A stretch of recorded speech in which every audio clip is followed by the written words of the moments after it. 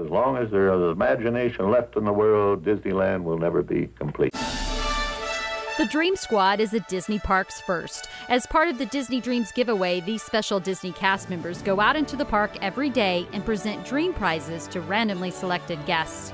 This is, after all, a year of a million dreams.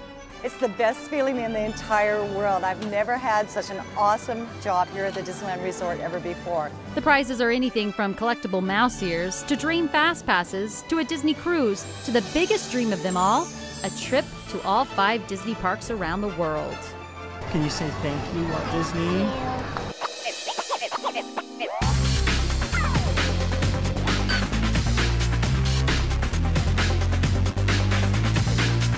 Rockin' Space Mountain is the newest version of the Space Mountain Classic, which has been here at Disneyland for many, many years, and we've taken a whole new soundtrack and given it a whole new twist. It's really like riding through a rock concert in space. California Screamin' at Disney's California Adventure will also rock out to a new soundtrack. Recording engineer Ryan Hewitt is the mastermind making the new music match every twist and turn. I'm very proud to, to have a part in this in any way. And when they called and described what the project was, and when I went down to Disneyland and rode the rides and, and uh, you know talked to the guys over there, it was I, I, walked away even more excited than I was when I went there.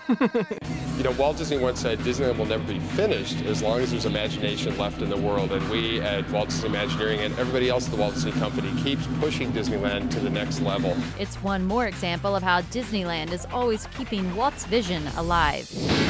Pirates of the Caribbean is another popular attraction with some new Disney magic. Recently, Imagineers enhanced this guest favorite with characters from the Pirates of the Caribbean movie franchise. They also enriched the sound and lighting and hauled in more than 400,000 pieces of gold and jewels. Imagineer Marty Sklar worked with Walt Disney when the park opened back in 1955. The beautiful thing for people who create for these parks is that we try never to look back. And that was the way Walt Disney was. He didn't like to repeat himself. And so we're constantly going on to new things. And there's a lot of new things on the horizon. Tom Sawyer's Island will soon be taken over by pirates. And of course, the subs are coming back. Yeah! Those famous subs everyone loved are under construction at this very moment. This blast from the past will now be called Finding Nemo Submarine Voyage. When it opens, guests will be able to travel to the undersea world of Finding Nemo in a way that's never been possible before.